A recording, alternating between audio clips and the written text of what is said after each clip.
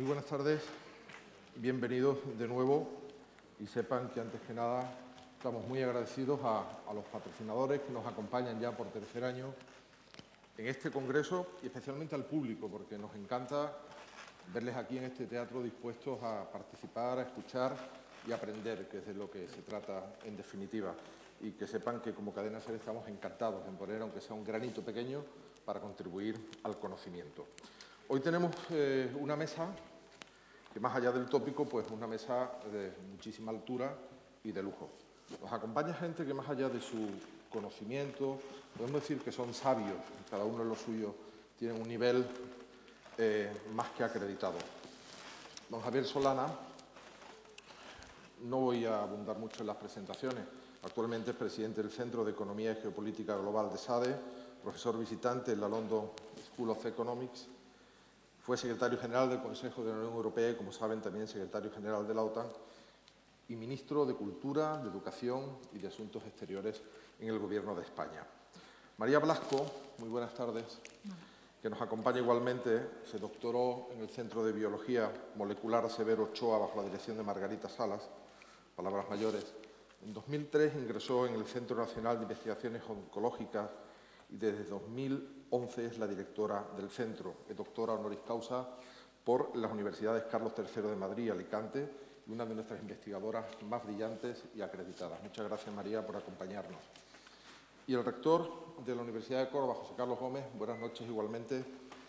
José Carlos es catedrático del Departamento de Anatomía y Anatomía Patológica Comparada desde junio del 2014, rector de la Universidad de Córdoba y presidente del Campus de Excelencia Internacional en Agroalimentación en Andalucía. El genérico de esta mesa sobre la educación y el futuro lleva un subrayado que es la idea del talento amenazado. Eh, no lo digamos como afirmación, sino pongámoslo entre interrogantes y le preguntaremos inmediatamente a nuestros ponentes si están de acuerdo con esta afirmación y veremos por qué los matices. Sí es cierto que si hay dos conceptos claves para encarar el futuro, tienen que ver con la incertidumbre y tienen que ver también con la transformación. Son dos retos, encarar un futuro cada vez más incierto en un mundo muy cambiante en el que necesitamos desde luego adaptar las estructuras que nos permitan seguir caminando con éxito. Los organismos que trabajan en este campo además añaden algo, eh, unos elementos muy sustanciales para el debate. El futuro de la educación debe construir un futuro viable, un desarrollo sostenible y debe hacerse basado en los principios de la democracia, la equidad, la justicia social y la paz. Desde luego, pocos debates se antojan más trascendentes que esto. Y añadiré un último elemento antes de, comenzar. La UNESCO encargó un informe muy recomendable su lectura al filósofo y sociólogo francés Edgar Morin para que profundizara en el diagnóstico y aportara soluciones. El documento, que se titula Los siete saberes necesarios para la educación del futuro, establece algunos hitos sobre los que vamos a hablar para desarrollar el debate. Así que partiendo de la idea del talento amenazado, aportaré solo unos datos que vendrían, al menos teóricamente, a sostener que en efecto el talento puede estar siquiera parcialmente amenazado. Eh, quedemos con algún dato español. La tasa de abandono escolar en España es del 19%, casi el doble de la tasa europea y solo unas décimas por encima, unas décimas mejor que Malta, que es el país con peores datos de la Unión Europea.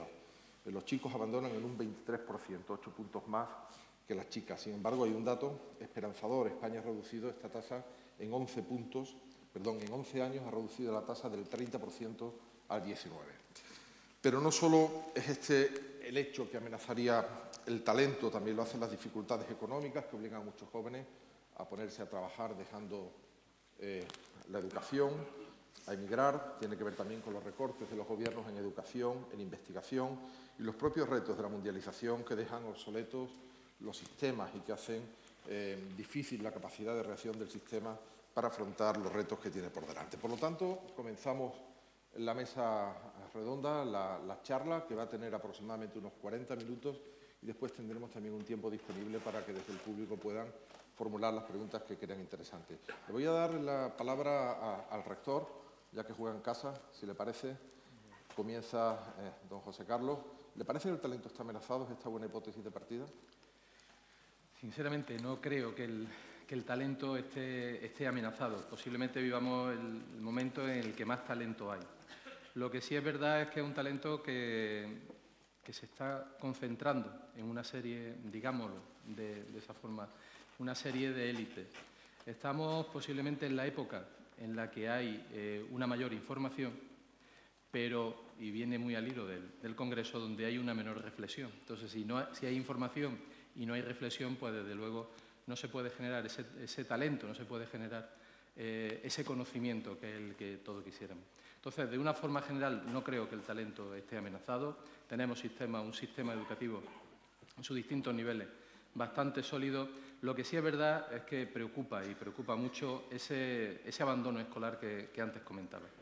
Sobre todo a mí me preocupa más que la, fase universitaria, donde ya chicos y las chicas que llegan con 19, 18, 19 años ya vienen hechos, ¿eh? donde la universidad les da un barniz y complementa su formación, me preocupa mucho más esa etapa eh, preuniversitaria, la parte eh, infantil, la parte de primaria y secundaria, que ahí es donde de verdad deberíamos hacer cambios, cambios mucho más importantes para sacar todas las capacidades que tienen, que tienen los niños. Y donde ese talento, talento ya sentimos, muchas veces talento, perdona, el, abandono escolar, no solamente el abandono, es también el asentismo, que hay muchísimo asentismo escolar, intentáramos minimizarlo. los centros escolares, sobre todo en la primera etapa, tienen que ser centros de, acogida, centros donde los niños y las niñas se sientan a gusto, donde desarrollen todas sus capacidades. Y posiblemente tengamos un sistema, eh, en general en Europa, demasiado eh, constreñido, demasiado eh, cuadriculado, y eso facilite que no saquemos todas las capacidades, que se creen frustraciones y que haya ese abandono en etapas posteriores. Gracias, José Carlos. María Blasco, por favor. Bueno, yo soy un poco más negativa. Yo creo que, España es, verdad que ha pasado de ser, por ejemplo, en materia de, ciencia, ¿no? de investigación, eh, un país que, no contaba mucho internacionalmente en las últimas décadas a convertirse en uno de los países que producen ciencia de alto nivel. ¿no? Eh, estamos, según el Nature Index, ahora estamos en la posición número 9 en el 2017 del mundo, ¿no? lo cual es realmente muy notorio. En ese sentido, podemos decir que en este país hay mucho talento, o se ha generado mucho talento en las últimas décadas. ¿no? Pero sí que es verdad que está amenazado ahora, porque los presupuestos que han ido destinados a la investigación, por ejemplo, eh, pues han recortado más de un 30% en los últimos años. Eh, yo no soy una experta en universidades, pero entiendo que la universidad también ha tenido una disminución importante en los presupuestos, se ha perdido mucho profesor eh, investigador de las universidades, investigadores. Y en este sentido yo creo que sí que, creo que estamos en un momento bastante crítico. Tenemos que valorar que este país es un país de talento y de ciencia y que eso es un logro, es algo que realmente nos tenemos que congratular todos y congratular a los que lo han hecho posible, pero también es verdad que, se ha reducido mucho la inversión en ciencia cuando nuestros países vecinos, que son nuestros competidores, porque nosotros competimos con otros países que, sí que están apostando al máximo nivel por, la ciencia, ¿no? que son países de nuestro entorno, ¿no? eh, Alemania, Francia, Reino Unido, etc. Sin embargo, hay un gran nivel de investigación en España. Lo que faltan son recursos. Creo que después deberíamos hablar también de esto, ¿verdad? Javier Solana, muy buenas tardes. Le formulo la misma pregunta. ¿A su juicio el talento está amenazado? Pues primero, gracias eh, a todos ustedes por pasar esta tarde de viernes eh, escuchando y participando en un debate. Vamos a ver, yo, creo que si miráramos eh, al mundo como lo debemos mirar, que es con sentido global, yo creo que tiene ya muy poco sentido mirar a estas cosas nación a nación, es país a país, sino hay que mirarlo desde una perspectiva más amplia, porque el conocimiento se mueve a través de las fronteras sin necesidad de, tener pasaporte. Por lo tanto, es un bien que es internacional y que se mueve y que puede llegar a gente de todos los sitios sin necesidad de tener que vivir en ese sitio. Pero yo quisiera deciros que yo soy más optimista. Eh, no soy optimista por ser naif o por ser eh, ingenuo, es que veo que cada vez hay una cantidad de talento más desarrollado en el mundo de hoy. Eh, fíjense ustedes un solo dato. Eh, China hoy produce más científicos cada año, más ingenieros cada año, que el resto de casi todos los demás países juntos.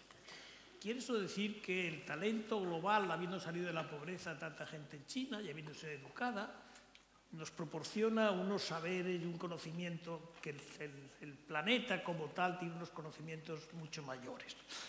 La cuestión es si está bien distribuido ese conocimiento. Y yo creo que yo venía pensando esta tarde al venir hacia acá, yo he sido, como saben ustedes, eh, ministro de Asuntos Exteriores, ministro de, Ciencia y Tecnología y de Educación en España en los años 80. Pero les voy a decir una cosa que a mí todavía me, me sorprende. Lo más importante que hice yo, y seguramente en mi vida política lo más importante que he hecho, es cambiar la edad de escolarización en España. Cuando yo llegué al ministerio, los niños tenían una educación obligatoria de los 6 a los 14 años. Éramos el único país que tenía solamente educación hasta los 14 años. Nosotros, o yo me tocó a mí, tuve la suerte de poder hacer una transformación radical para pasar que la educación obligatoria fuera hasta los 16 años. Realmente fue un salto cualitativo extraordinario. Y a partir de ese momento eh, yo creo que hubo un influjo mayor en el, en el proceso educativo español. Ahora, si me dijeran qué es lo que yo hubiera hecho y que no hice, fue haber alargado la enseñanza no hacia arriba, sino hacia abajo. La enseñanza obligatoria no puede empezar a los seis años la enseñanza fundamental se hace de los cero a los seis años. Realmente el niño al nacer aprende lo que tiene que aprender, aprende cosas muy importantes que si no las aprende en ese momento, de sus primeros momentos de la vida, los primeros años de su vida, el calor de la madre, lo que ve en la casa, etcétera, etcétera, pierde muchas posibilidades y hoy lo sabemos bien por la ciencia. La propia investigación nos demuestra, nos demuestra eso. Por lo tanto, yo creo que hay más conocimiento, más sabiduría en el mundo de hoy hay que repartirla mejor y desde luego teníamos que ser mucho más conscientes de la importancia que tiene en los primeros años de la vida y al final del periodo educativo formativo reglado, que es básicamente los 16 más el bachillerato, 17 y 18 años. Y la tercera cosa que quisiera decir es que para la, la enseñanza tiene un sentido formativo desarrolla el ser humano, sus capacidades, su creatividad, su capacidad innovadora, etc. Pero también produce o da algo que ahora es muy importante, que es el ser capaz de emplearse, la empleabilidad. ¿Para qué sirven esos conocimientos? Para disfrutar con ellos o además para ganarse la vida. Y este tipo de, de cuestión, esta gran esta gran paradoja en la que hemos tenido en nuestro país, que teníamos algunas personas que hacían carreras que luego les imposibilitaba completamente emplearse, tenemos también que cambiar. Y con el mundo de hoy, con la tecnología que hoy existe, con los ordenadores que te pueden enseñar casi en tu casa sin moverte, todo eso lo tenemos que poner al servicio de una juventud que tiene que formarse. Y no solamente una juventud, porque la formación en el mundo en que vivimos tan cambiante, tan rápidamente cambiante, tiene que adaptarse también rápidamente. Y por lo tanto no sale solamente con estar en la escuela desde los, desde los 0 hasta los 16 años y en la universidad hasta los 18 o hasta los veintitantos, sino que hay que estar permanentemente educándote. La educación permanente es una obligación de todos nosotros. Gracias. Gracias a usted. Hay un debate permanente sobre el papel de la universidad en la empleabilidad. ¿Qué opina usted, rector?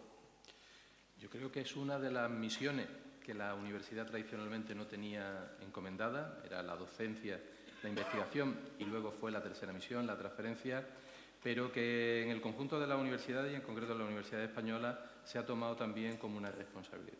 No hay universidad española que ahora mismo no tenga oficina de empleabilidad, no tenga cursos de empleabilidad, de emprendimiento. Creo que hemos asumido un rol eh, que no está puesto en ningún sitio que tengamos que asumir, pero con ese compromiso que tenemos sistema universitario en su conjunto hacia la ciudadanía y hacia esos jóvenes que estamos formando, pues de luego apostamos de una forma clara por la empleabilidad. La experiencia, y yo hablo de la Universidad de Córdoba, la experiencia no puede ser mejor. En la universidad en los últimos, los últimos años se ha apostado de una forma decidida, se han organizado estructuras para eh, que todo ese esfuerzo vaya canalizado y que sea, eh, que sea objeto de una estrategia y que tenga un fin concreto. Y hoy, a día de hoy, podemos decir bueno, pues que se han creado 13 empresas por parte de estudiantes, no de personas que han acabado la carrera y que luego han montado una spin-off, una EBT, no, no, personas que han tenido una, durante el desarrollo de, su carrera académica, han tenido una idea y han sabido plasmarla y hoy día, bueno, pues hay creadas 13 empresas, eh, de las cuales 7 ya llevan más de dos años, con lo cual, bueno, pues no, no van mal, no van mal. En cualquier caso, aunque fracasaran dentro de algún tiempo, la experiencia que ellos han acumulado yo creo que sería tremendamente positiva. La universidad, mm, en su conjunto, eh, suele asumir casi todos los retos que le plantea la sociedad, por no decir todo. Y desde luego el de la empleabilidad y el emprendimiento es, uno, es clave. Y en Andalucía, además, tengo que decirlo de una forma muy intensa, en tanto a nivel individual como de forma colectiva. Hay varias eh, herramientas que se han puesto en marcha a nivel colectivo por el sistema de universidades públicas de Andalucía con el objeto de mejorar esa empleabilidad y ese emprendimiento. María Blasco, ¿incentiva, estimula suficientemente la universidad a los estudiantes para vincular su futuro laboral a la investigación? Bueno, como digo, yo no soy del mundo de la, universidad, soy científica. Recibimos científicos, yo creo que están, que están motivados. Eh, hace poco leía un estudio donde la preparación precisamente, o sea, el grado de preparación en ciencias de los estudiantes españoles de 15 años está muy por debajo de la media de la OECD y muy por debajo de países como Finlandia o Alemania. Sin embargo, estos mismos estudiantes son los que más ganas tienen, eh, comparado con otros países eh, europeos, eh, en, ser científicos, por ejemplo, en dedicarse a la investigación, ¿no? lo cual yo creo que, tienen ganas realmente de, poder tener éxito y seguir carreras científicas. ¿no? Lo que ha dicho el rector estoy totalmente de acuerdo. Yo creo que uno de los retos importantes de este país, mientras que he dicho antes que estamos muy bien en cuanto al número total de, producción, de, publicaciones científicas, etcétera, eh, lo que es la producción de patentes y de retornos de estas patentes, eh, España es un país que está a la cola. O sea, nos falta, nos falta hacer esa parte del recorrido de, saber también y tener el apoyo, ¿no? y está muy bien que las universidades tengan oficinas de transferencia y hacer este recorrido de convertir ese, conocimiento ¿no? en, retorno, en empleabilidad, etcétera. Mm, en este sentido, pues, en el caso, por ejemplo, del centro que yo dirijo, que es el Centro Nacional de Investigaciones Oncológicas, estamos poniendo muchísimo énfasis ahí.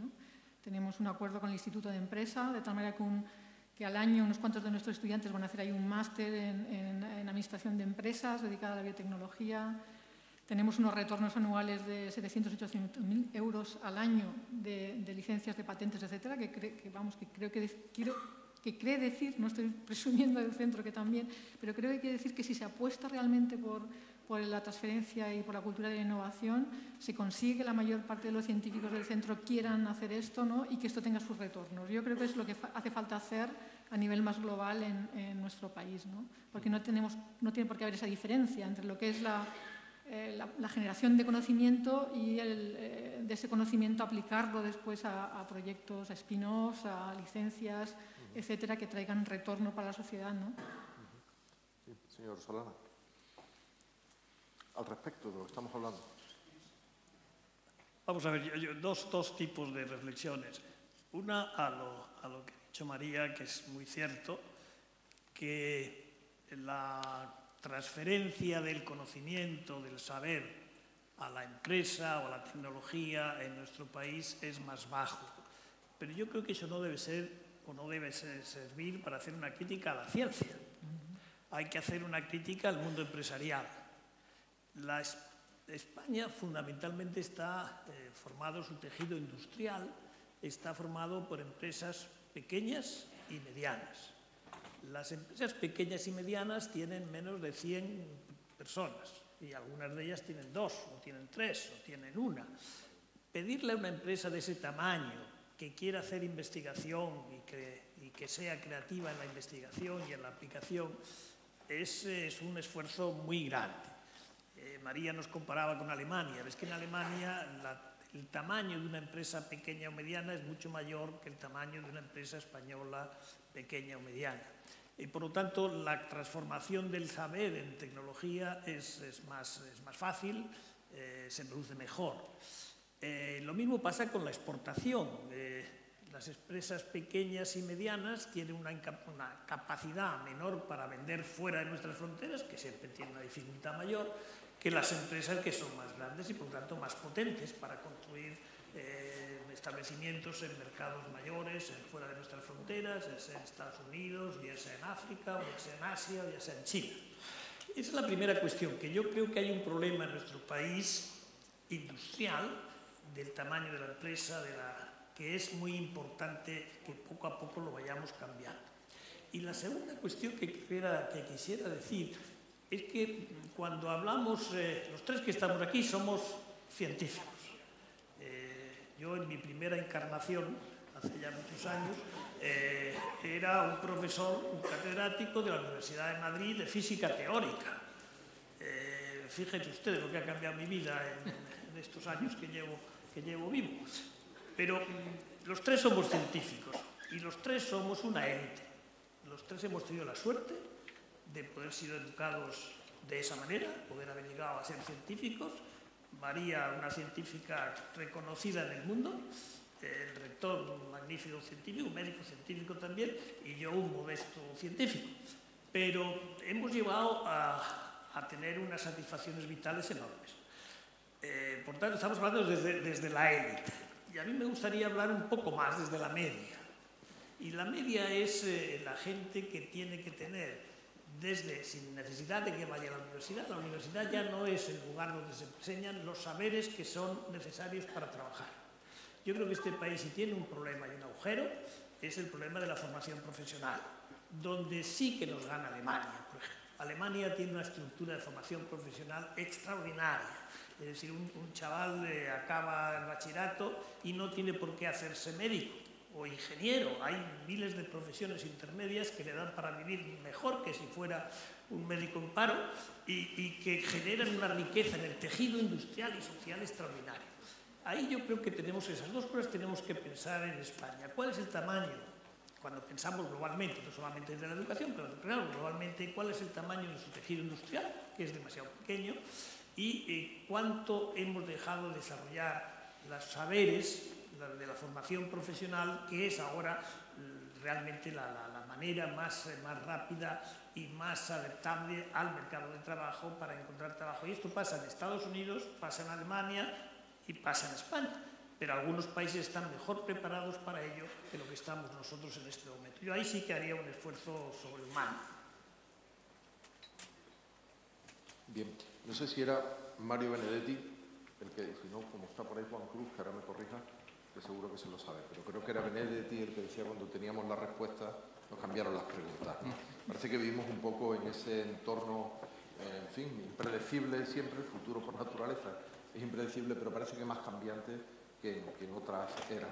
Las estructuras actuales de, de, la educación, de la investigación en España, en nuestros países, los países de nuestro entorno, Javier, ¿están preparadas para afrontar estos retos? Estas exigencias? Sí, sin duda ninguna. Eh, están, están, preparados, eh, hombre, tienen que hacer reformas.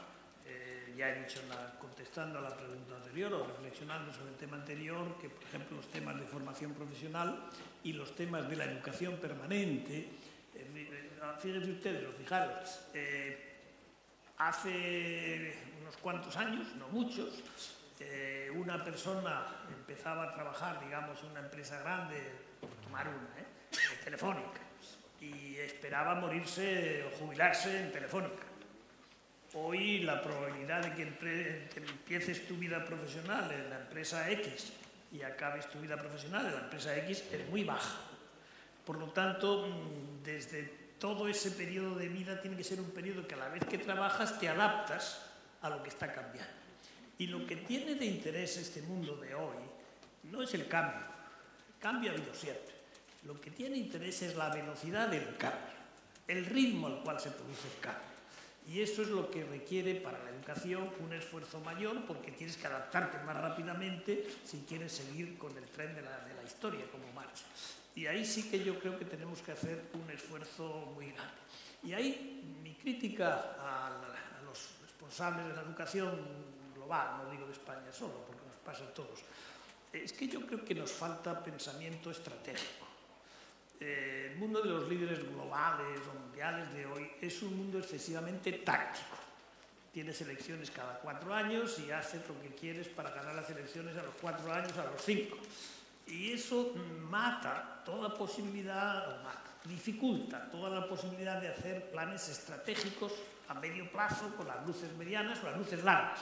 Y en este mundo, cambiando como está cambiando, o se piensa con las luces largas o se fracasa. Y eso sí que es una llamada a cómo gestionamos la democracia, cómo gestionamos todas estas cosas que tienen que ver con la política en el siglo en que vivimos. Pues totalmente de acuerdo con lo que comentaba eh, Javier. El gran problema es que nos falta en general, y en concreto en España, nos falta esa visión estratégica a medio y largo plazo. Es impensable que un país como España pues, hayamos pasado por tres reformas educativas en menos de tres décadas y, que seamos incapaces y que sigamos siendo incapaces de ponernos de acuerdo en algo que tendría que ser relativamente fácil como es la educación. Y precisamente pasa por, esa, eh, por ese cortoplacismo, muchas veces de los responsables eh, políticos del momento, en lo que están buscando más ese rédito en el número de votos que en buscar una estrategia y el bien de, la sociedad en su conjunto. Sorprende que las universidades, y hablo por lo que conozco directamente, como sabéis somos órganos autónomos, eh, nos pongamos de acuerdo y nos pongamos de acuerdo. 80 universidades, que os puedo decir que son de lo más variados que puede haber, desde privadas, públicas, grandes, pequeñas, investigadoras, no investigadoras, antiguas, modernas, eh, y seamos capaces de ponernos de acuerdo en lo fundamental, como hemos demostrado eh, cuando recientemente hubo posibilidades de desestructurar el, desestructurar el sistema universitario con los cambios legislativos que se habían producido respecto a la duración de los grados, famoso 3 más 2 o el 4 más lo que sea, que, con lo que se nos amenazaba, y ahí hemos sido capaces de ponernos de acuerdo y, sin embargo, los responsables de, los distintos partidos políticos sean incapaces de tener esa visión a largo plazo de lo que es la educación. Al final llega a la conclusión de que es que la educación se está utilizando como una herramienta eh, política y no como una herramienta de generar progreso en la sociedad. Si tú haces la educación para lo que realmente debe ser la educación, que es crear pues, una sociedad formada, una sociedad formada no solo en conocimiento, sino también en valores, y valores en los que todos deberíamos estar de acuerdo. Son los valores bueno, pues de una sociedad eh, en democracia, una sociedad en libertad, un Estado de Derecho, no debería haber tantos problemas. Y al final nos encontramos con que los problemas son de pequeños detalles, absurdos detalles, que deberían ser mucho más fáciles de solventar. Dicho lo cual, el sistema en sí, las estructuras que tiene España, yo creo que son unas estructuras bastante sólidas, necesita que se le dé más confianza, falta confianza al sistema educativo en su conjunto. Eh, la disgregación eh, por las competencias, la transferencia de competencias ha sido y ha dado algunos problemas que deberíamos, se deberían resolver. Debería haber un pensarse de una forma eh, distinta la educación lo que es el ámbito estatal. Deberíamos, evidentemente, y aquí tengo que, decirlo, igual que ha hecho antes María, pedir una mayor financiación, porque es verdad que hace falta una mayor financiación, pero sobre todo un mayor reconocimiento a la labor, ya no del profesor universitario, que lo tiene, sino un mayor reconocimiento al maestro que volvamos a tener maestros en esa enseñanza eh, infantil, en esa enseñanza primaria, que sean vistos por la sociedad como ese referente social, que nuestro, igual que hoy día cualquier chico y chica quiere ser médico y aspiran a ser médico porque tienen un reconocimiento social, lo consigamos también en el caso del magisterio. Es fundamental. Y es fundamental esa educación en valores, esa educación eh, un poco, si me lo permití, un poco en plan tribu. Ahora mismo hay muchísimo desconcierto con el tema de los valores. en las casas se dice una cosa, en los colegios se dice otra y en la calle ya ni, hablamos.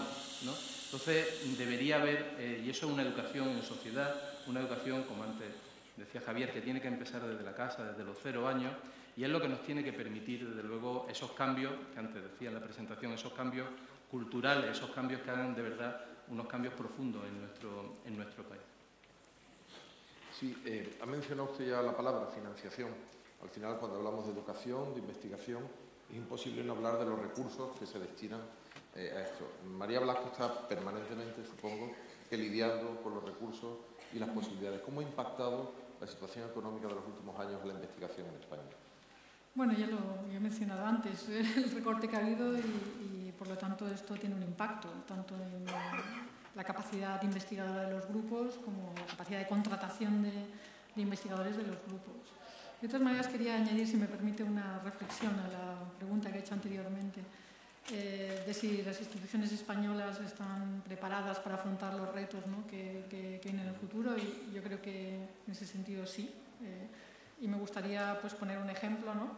Eh, por ejemplo, si lo que hacemos aquí, en, este país, es atractivo, por ejemplo, para grandes compañías eh, internacionales, ¿no? en cuanto a conocimiento, generación de conocimiento, yo creo que la respuesta es sí. Eh, quizá el problema es que las propia, el propio tejido empresarial, y esto yo lo he dicho antes Javier y tiene mucho sentido, mucho, mucha razón, nacional no, eh, no presta atención a, la generación de conocimiento que está ocurriendo en nuestro país, pero sí desde fuera. Y en el caso del, del CENIO es obvio, o sea, todos los acuerdos que tenemos con industrias farmacéuticas son con las empresas farmacéuticas internacionales, no con las filiales nacionales. Con lo cual nuestro talento sí que se reconoce internacionalmente, quizá hace falta que se reconozca en el tejido empresarial español. Eso está, esto falla, no, sé muy bien por qué, pero, pero, falla. Y la capacidad de tener planes estratégicos es muy importante, pero me, pondría, me gustaría poner un ejemplo de algo que ha funcionado y que, que no es mérito de un solo gobierno, sino que es algo que se inició con el gobierno de Zapatero y que se ha continuado con el gobierno actual, que es un programa de excelencia que se llama Programa de Excelencia Severo Ochoa, por el cual se acredita y se da una cantidad de dinero que es poca, es un millón de euros al año, a los centros que después de ser evaluados se consideran que son centros que están en la élite internacional, no nacional, porque es verdad que la ciencia no es algo nacional, es internacional. Y al principio se dieron a unos pocos centros y esto que ha, hecho ha cambiado completamente eh, el, tejido de centros de investigación, ahora son Severo Ochoa y Unidades María de Maestu, todos quieren tener esta acreditación porque significa más dinero, es decir, hay un premio por ser mejor, por ser competitivo internacionalmente y esto hace que en este país esté aumentando eh, en ese sentido la excelencia científica. Y esté aumentando, la, está cambiando la manera de hacer las cosas de tal manera que nos parezcamos más a los centros líderes internacionales. Yo creo que esto sí que es estratégico, me gustaría verlo en más, ejemplos, no solo en el caso de la ciencia, y claramente tiene que ser a largo plazo y tiene que ser un compromiso de, distintos gobiernos. Eh, Javier Solana, para desarrollar lo que apunta María, para ser capaces de implicar a la industria, a las empresas, a todo el tejido social, a las instituciones financieras internacionales, ¿existe en España una capacidad mínima de consenso y una fuerza motriz política capaz de llevar esto a buen puerto? Hombre, en principio sí existe, o no va a existir. Eh, lo que pasa es que estamos viviendo unos años políticamente confusos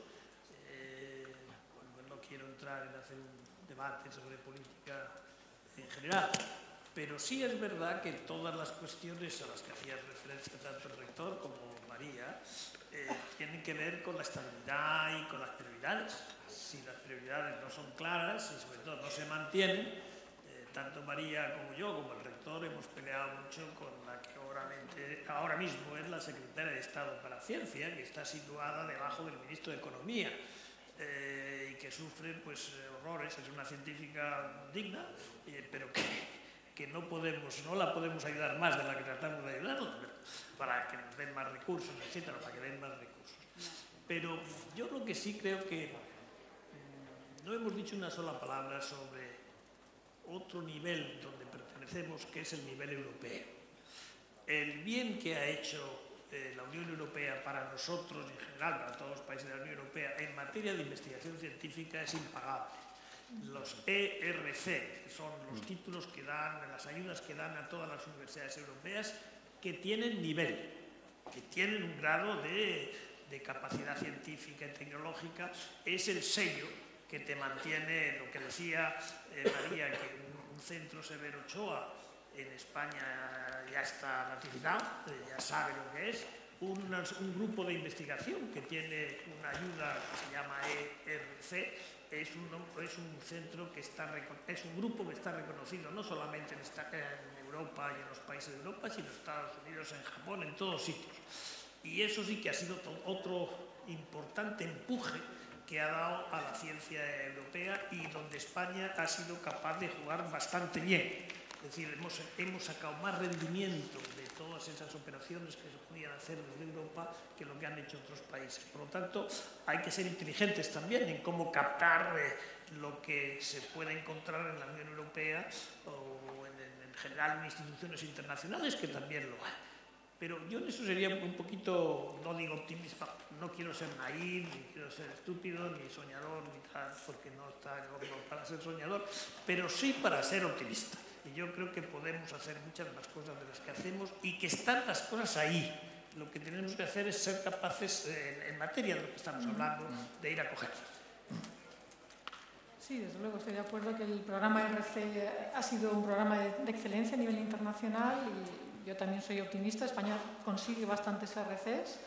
Quizá, por, por, por hacer un pequeño matiz, el programa RC entiendo que, que es un programa que, que, cuyo fin es distinguir los grupos de investigación de cada país que son eh, excelentes, que están en la élite y después se supone que ese mismo país los va a mantener al mismo nivel. Y esto pasa en países como Alemania, pero no pasa en España. Entonces ahí sí que falla un poco. Tendría que, que continuar ese apoyo después a nivel, a nivel nacional.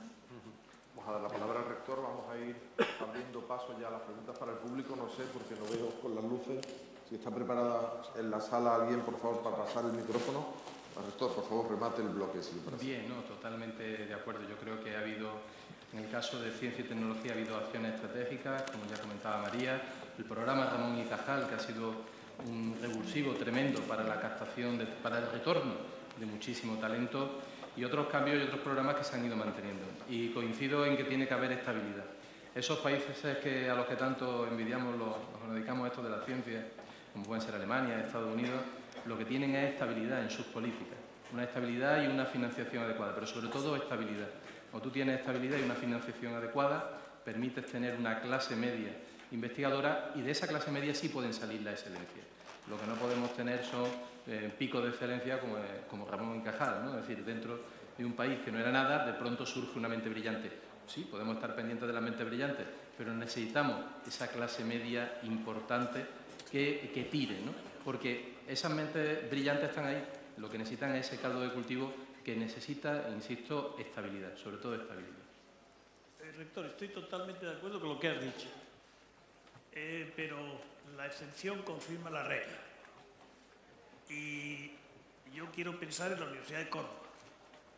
Yo he seguido, desde que fui ministro de Ciencia, he estado muy dedicado a pensar en esta universidad. Esta universidad hizo una cosa extraordinaria, que es pasar de una universidad la has llamado tu clase media, no sé cómo la has llamado, a ser una universidad de élite, no en todos los campos, pero de, habéis tenido un, sois una de las primeras eh, universidades españolas, incluso de, de primer nivel en Europa, en temas relacionados con la agricultura, en cosas relacionadas con, con todo eso que es tan importante, además, porque no solamente es, es, es, sí que es un saber que se aplica para que el mundo pueda luchar contra el hambre y la utilización del agua, todas estas cosas que esta universidad es una universidad, una universidad estupenda. Yo, aprovechando que estoy aquí, quiero dar la enhorabuena a esta universidad, en este caso al rector, por lo que habéis hecho, que es realmente espléndido.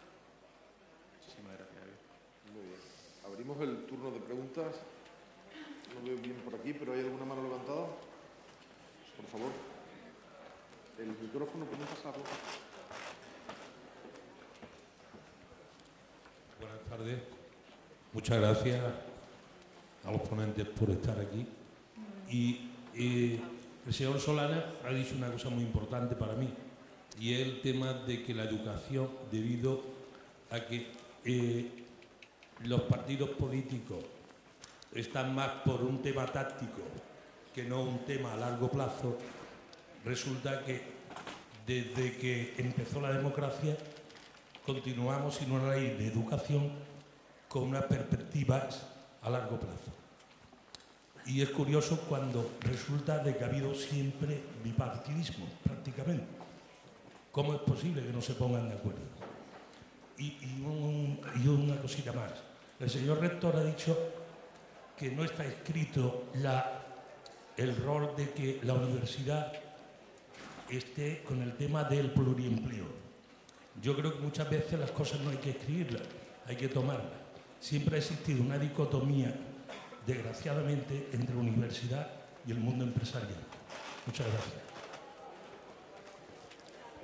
Eh, te voy a contestar, la pregunta es perfectamente pertinente, es verdad, y reitero que la, estrategia es algo fundamental en temas como la educación.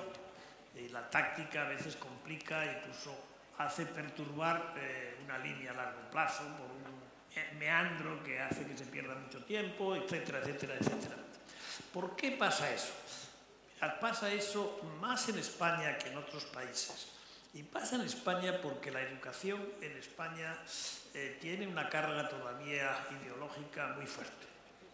España tiene un sector público educativo, es decir, donde todos los niños en principio tienen el derecho a ir, tiene un sector muy grande todavía, que es el sector que llamamos concertado, donde el Estado paga, eh, pero no tiene el control sobre la educación en ese colegio, y luego un sector privado. El sector concertado, que sería muy difícil cambiarlo rápidamente, pero sí se debiera cambiar hacia algo mucho menos eh, eh, ideologizado. Porque de donde salen los problemas para llegar a acuerdos eh, educativos no es sobre si se enseña matemáticas en segundo y en tercero, o si se enseña filosofía cinco horas o seis horas, o si ahora podemos introducir, como debiéramos introducir, las tecnologías de la información en la educación. Hoy un muchacho que acaba el bachillerato sin saber trabajar bien con un ordenador y, con, pues, pues, realmente ha perdido mucho tiempo. ¿no? Y yo creo que todavía hay una, una carga ideológica en nuestro sistema educativo que viene de muy atrás, que tiene algo que ver también con nuestras relaciones con la Iglesia y que, bueno, poco a poco o, corto a corto deberíamos cambiando. Por favor, le ruego que sean preguntas breves. Yo, si me permite, quería aclarar completamente de acuerdo con precisamente en lo que he dicho, es decir, no tenemos nuestra, la ley que, nos, que rige al sistema universitario marca una función y no está en la empleabilidad. Pero sin embargo, y es lo que he comentado, las universidades hemos asumido esa responsabilidad y la hemos asumido además de una forma decidida. Y junto a esas estructuras de oficinas de empleo, de orientación, eh, programas que se establecen con empresas como puede ser el Banco Santander, el Grupo Santander, conjunto, o con Telefónica, que son proyectos muy ambiciosos Junto a eso no hay que olvidar un elemento clave para esa empleabilidad. La Universidad de Córdoba cada año sus alumnos, casi prácticamente 4.000 alumnos de una universidad que tienen alumnos de grado 15.000, 4.000, ah, prácticamente 4.000 al año hacen prácticas en empresas. Unas prácticas en empresas que evidentemente pues lo que van buscando es una formación para ellos y también esa empleabilidad. Y además con una visión también estratégica a nivel de la provincia.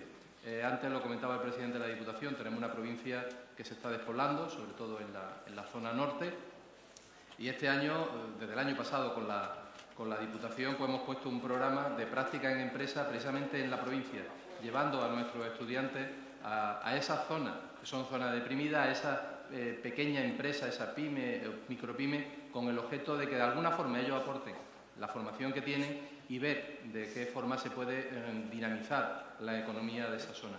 Yo creo que esa universidad de espalda a la empresa hace tiempo que desapareció. Eh, hoy la universidad es una universidad abierta, una universidad dispuesta a colaborar y el gran problema que tenemos, como antes comentaba Javier Solana, es la estructura empresarial de nuestro país y que luego los elementos que se han puesto para dinamizar esa interacción universidad-empresa, como podrían ser los centros tecnológicos, no han dado el resultado que todos esperábamos y que deberíamos, es decir, no hay que eliminarlo, tenemos que repensarlo, darle una vuelta, porque son esos elementos de interfaz que pueden ayudar que el conocimiento llegue a la empresa y se transforme en innovación. Siguiente pregunta, sean breves, por favor, se lo ruego. Buenas tardes. ¿Se oye? Sí. En primer lugar, agradecer, por supuesto, a los ponentes el placer intelectual que supone escuchar a alguien, no sé si de verdad, no sé si se oye bien o no. Sí, sí, sí, y, y, en segundo lugar, en segundo lugar, hombre, eh, realmente en un debate de esto pues da tiempo para la provocación y es muy difícil ahondar eh, en, el tema. Yo me gustaría simplemente a modo telegráfico tres cosas. Primero, ¿cómo es posible eh, plantearse que el talento no esté amenazado cuando realmente las políticas se están haciendo a nivel global, yo coincido con Javier, son políticas fundamentalmente que ahondan en la desigualdad. Es muy difícil eh, que el talento no esté amenazado y que, lógicamente, su variante, la investigación, etcétera, no estén amenazadas. En segundo lugar, yo creo que eh, Javier ha dicho una cosa que a mí me parece fundamental. Si no cuidamos los cimientos, difícilmente vamos a hacer el edificio y es fundamental los primeros estadios de la educación. Pero claro, para los primeros estadios de la educación no solamente tenemos que creérnoslo, sino que lógicamente hay que invertir en ello. Y tienen que ser los profesores más preparados y mejor pagados. Y en tercer lugar, Cuando estamos acostumbrados a llevar el mundo en el bolsillo, ¿estamos preparando realmente a nuestros talentos para administrar este mundo que llevamos en el bolsillo? ¿Quiere que le responda al señor Solana? María, doctor. Yo estoy dispuesto, pero vamos. Eh, vamos a ver, yo, creo que las tres cosas que has dicho eh, son cosas reales. Es decir, que la financiación a la educación es baja, pues sí, es, baja. Eh, que la, la educación es una prioridad, por lo tanto que si hay que bajar los gastos generales del Estado, hay que mimar algunas cosas para que no bajen porque son más importantes y son más estratégicas. Eh, fijaros en las... No os quiero poner ningunos ejemplos, pero bueno, sabéis muchos ejemplos donde se ha, derrochado dinero eh, que hubiera sido mucho mejor utilizado en educación o en ciencia. Eh, totalmente de acuerdo y hay que hacerlo suficientemente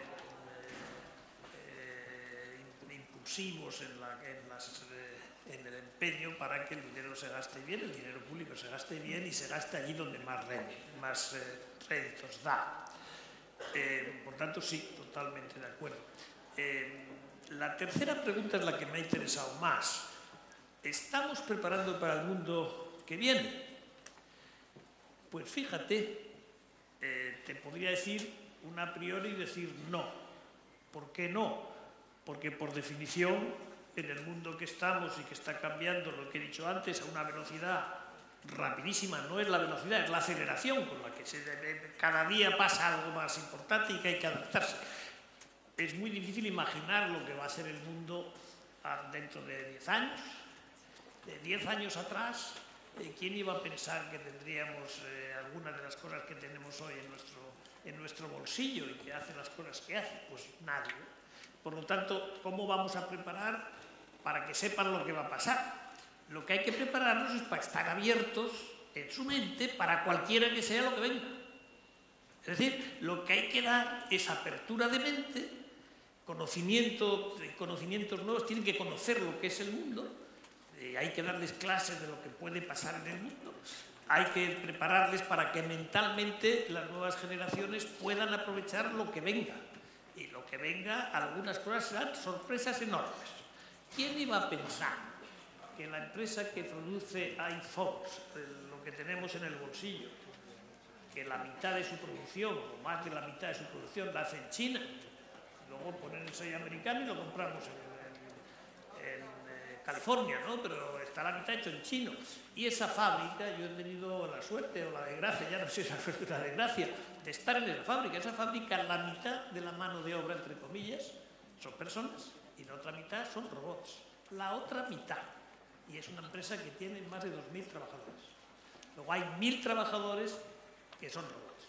Bueno, eso ha sido una sorpresa en un tiempo muy corto.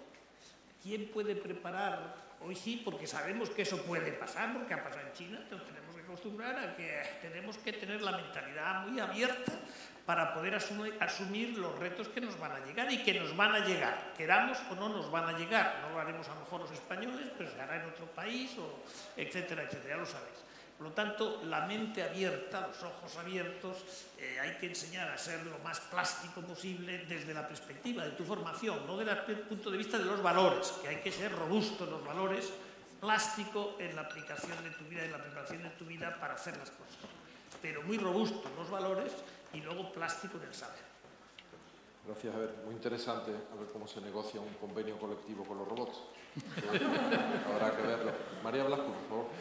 Sí, bueno, eh, dos reflexiones acerca de lo que, lo que has preguntado. Tenemos efectivamente un mundo de información en el bolsillo, en nuestros teléfonos móviles, por ejemplo. Eh, estamos preparados como ciudadanos para ser capaces de discernir la parte de esta información, que es verdad, que no es verdad. Eh, yo creo que eso, eso pasa todo por la educación, por saber educar en, yo creo que en el pensamiento científico, y hace poco una marcha por la ciencia mundial, que en España, por cierto, no tuvo mucho impacto, por lo menos en los medios, ¿no? pero que, destacaba la importancia de, ser, eh, de tener una educación en un pensamiento racional, ser capaces de, reconocer lo que son verdades factuales versus opiniones, ¿no?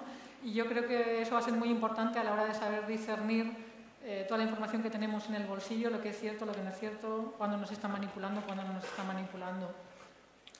Y quizá me gustaría también, cuando, has hablado de que el, talento bueno, pues está amenazado porque no todos tienen las mismas oportunidades, pues ya que yo soy la única mujer que está aquí, me gustaría también hablar de, del talento femenino, ¿no? Y no, no se escapa nadie que aunque hay igual de mujeres o más que hombres preparadas en las distintas carreras eh, científicas y no científicas, todavía las mujeres no estamos eh, ocupando el 50% de los, de los, puestos que deciden ¿no? en, la investigación, etcétera, ¿no? ni, en la política tampoco, vamos, en, ningún campo. Y a eso también me parece que es un talento que se pierde, ¿no? que también me parece importante destacar. Una pregunta más por ahí.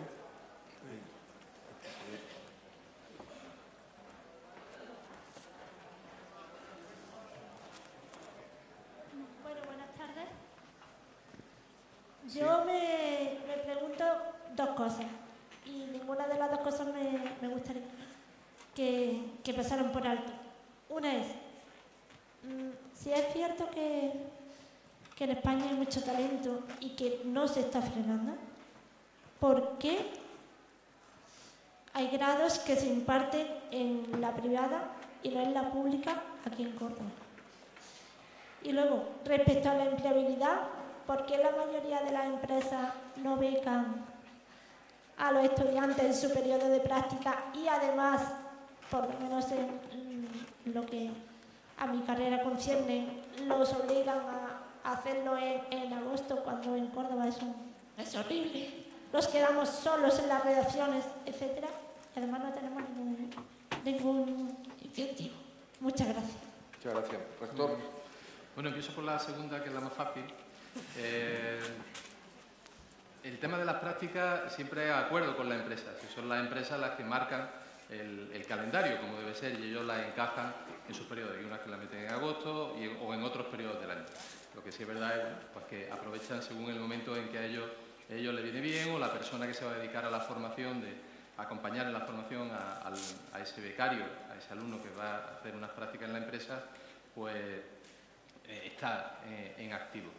Y en cuanto, a, y en cuanto al tema de los grados, eh, pues me vaya a permitir la expresión, me lo ha puesto a huevo porque tenemos aquí al secretario general de Universidad de la Junta de Andalucía y sabe bien eh, la sociedad cordobesa que reivindicamos muchas veces para la Universidad de Córdoba algunos títulos que creemos que deberíamos tener, no para ser competencia, ojo, no para ser competencia a la universidad privada, pero sí para dar una oportunidad a la sociedad eh, a los ciudadanos de que puedan elegir entre una y otra.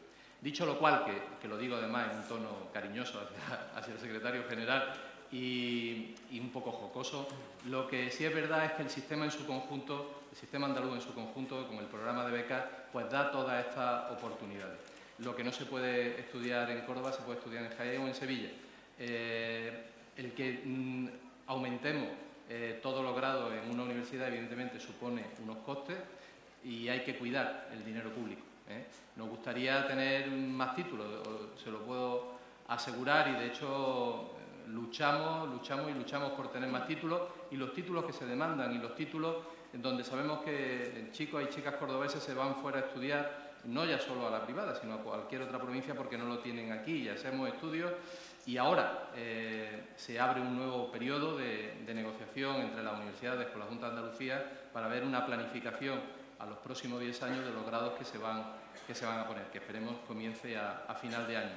Nos queda cerrar el acuerdo anterior, que nosotros saben que lo queremos cerrar con el grado de, psicología. Esperemos poder cerrarlo, estamos en los trámites oportunos y coincido con su, con su inquietud y le puedo asegurar que es uno de, de los caballos de batalla que tiene la Universidad de Córdoba, ¿no? el hacer esos estudios de necesidades eh, para que los cordobeses y las cordobesas no se tengan que desplazar siempre y cuando, evidentemente, los recursos públicos, que son escasos, pues podamos, eh, podamos con, ellos acometer esos proyectos. Una matización, rector, no, me la puedo callar, perdóname. Eh, yo creo que, que tiene mucha razón en la pregunta en general, pero cuando oigo al rector decir que está peleando con la Junta de Andalucía para que en Córdoba haya psicología, que no hay, me parece que es una pelea absurda.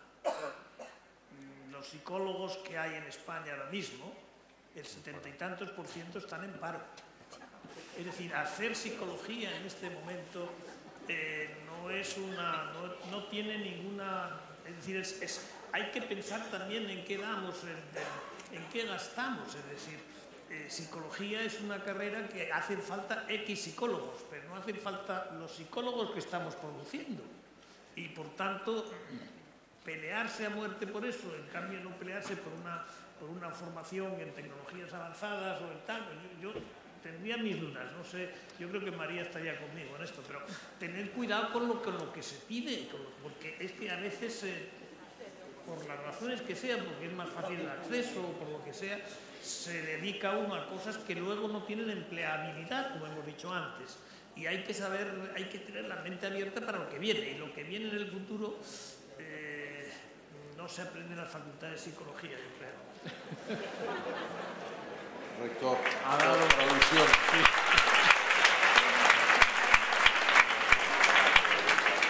Ha dado, ha dado en la clave de si el número de estudiantes que tiene que haber en las universidades, y es una clave y un gran debate, en la universidad, en las distintas titulaciones, tiene que ser lo que se necesita para cubrir las necesidades de un país en la parte, digamos, productiva. Ese es el gran debate. Y ahí tenemos el debate de las humanidades, tenemos el debate del magisterio, tenemos muchos debates eh, en los cuales, si solo limitamos como condicionante el de la empleabilidad, pues a lo mejor nos encontramos pues, con que sobran universidades y no creo que, sea, que sobre universidades en este país. Eh, al contrario, es decir, creo que son el número adecuado, el número de universitarios en España eh, está todavía por debajo de la media de la OCDE y lo que tenemos que ver es que esa formación que se está dando eh, sea una formación la adecuada para em, esa empleabilidad que no solamente tiene que ser de psicólogo, al final lo que llegamos es que que esa formación universitaria te abre unas expectativas y unas puertas tremendas.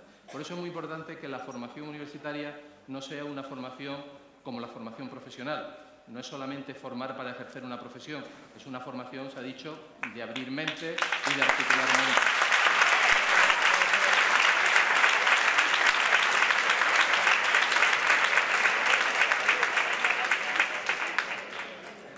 Me vais a dejar que me pelee un poco.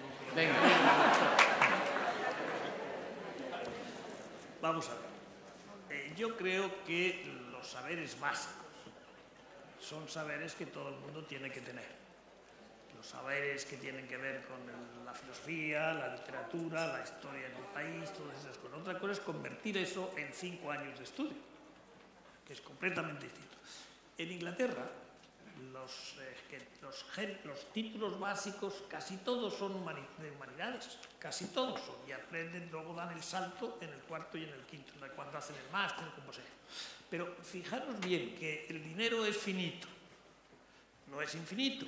Entonces yo te podía preguntar, por ejemplo, una persona que tiene recursos en su familia y que tiene el placer de querer ser eh, especialista en Shakespeare en el siglo XIV. Eh, ¿Necesita una titulación para eso? ¿O se lo tiene que pagar? Porque la sociedad no puede pagar eso. porque había mucho que se podría pagar para un chico que fuera químico, que fuera físico, que fuera biólogo, como es María. Es decir, mm, yo creo que este debate es un debate que no es un debate contra el saber, no es un debate contra los valores, no es un debate contra la cultura, es un debate equilibrado en lo que una sociedad tiene. Yo creo que en esto, querido rector, me parece que hacéis un poquito de demagogia. Me, parece a mí, me parece a mí, aunque hayan aplaudido más gente aquí también.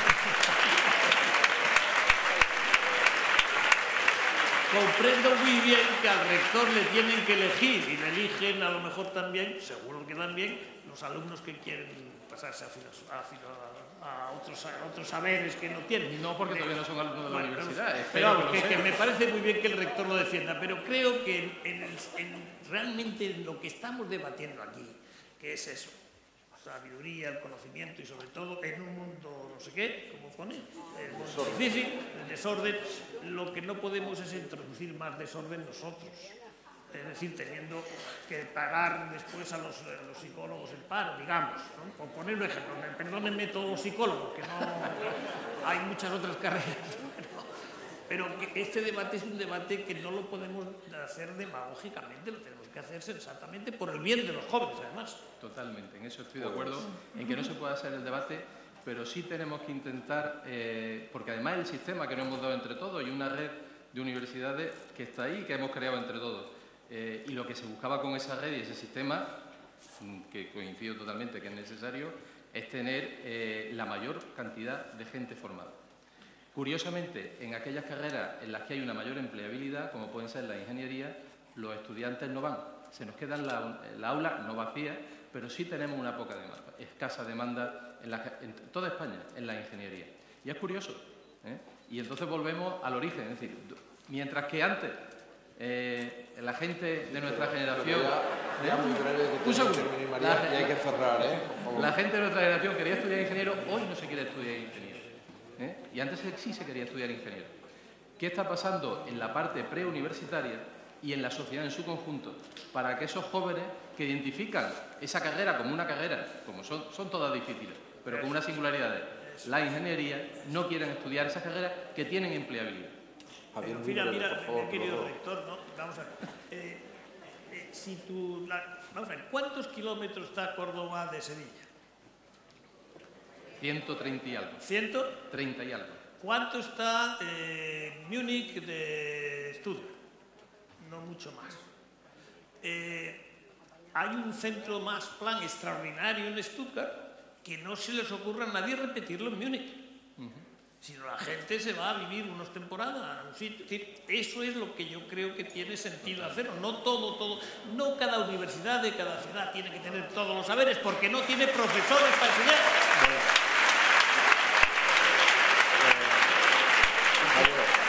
Muchas gracias, Javier, rector. Estamos, estamos fuera de tiempo, llevan riñéndome un rato, disculpen. Va a cerrar la mesa María Blasco. Bueno, yo por desempatar eh, un poco.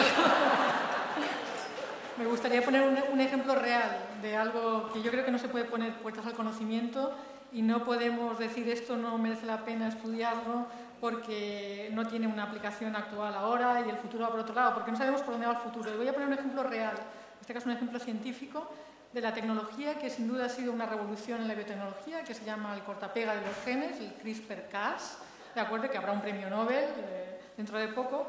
Pues bien, el origen de este CRISPR-Cas estaba un investigador que, trabajaba en la Universidad de Alicante estudiando unas bacterias que no le interesaban a nadie, eh, que sacaba de las salinas de Alicante, que no le dieron proyectos de investigación eh, estatales porque pensaban que aquello no valía para nada, no había ninguna aplicación, y que en cambio ahora seguramente será el siguiente, ojalá, premio Nobel que tenga este país. ¿no? Entonces yo creo que el conocimiento se anticipa unos 20, 30 años siempre a, la realidad y por lo tanto no podemos poner puertas al conocimiento en esos, en esos senadores José Carlos Gómez, muchas gracias. María Blasco y Javier Solana, muchas gracias a ustedes por su intervención. Buenas tardes.